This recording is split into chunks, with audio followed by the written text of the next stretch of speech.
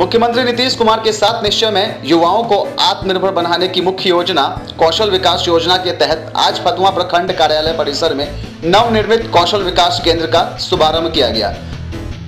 इसका उद्घाटन फतुआ वीडियो राकेश कुमार ने किया। इस अवसर पर वीडियो राकेश कुमार ने बताया कि कौशल विकास योजना के तहत संचालित इस केंद्र में युवाओं को आत्मनिर्भर बनाने के लिए स्किल डेवलप करने के साथ साथ संभाषण कला से अवगत कराया जाएगा। मुख्यमंत्री के साथ निश्चय में से एक कुशल युवा कार्यक्रम बदलते वैश्विक रुझानों की तर्ज पर एक संपूर्ण बहुउपयोगी कोर्स है।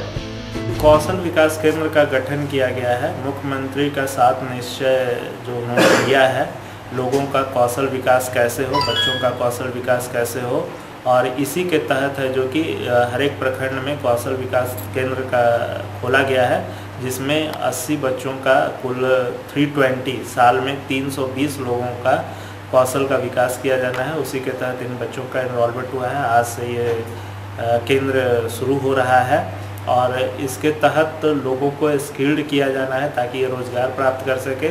साथ ही साथ अन्य जो योजनाएँ निश्चय की है, साथ निश्चय की है, जैसे कि जो इंटर पास बच्चे हैं और 20 साल से 25 साल के बीच के हैं और उन्होंने इंटर करने के बाद आगे की पढ़ाई नहीं की है।